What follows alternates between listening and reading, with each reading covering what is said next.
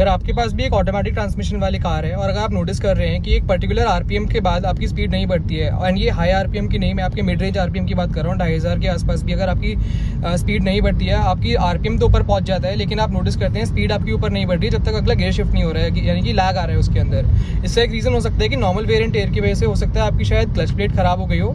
Recently ये issue मैंने अपनी एक कार बर्ना में फेस किया था, जो कि ऑटोमेटिक ट्रांसमिशन वाली है। उसको जब चेक कराया तो उसकी क्लच प्लेट में इशू निकला।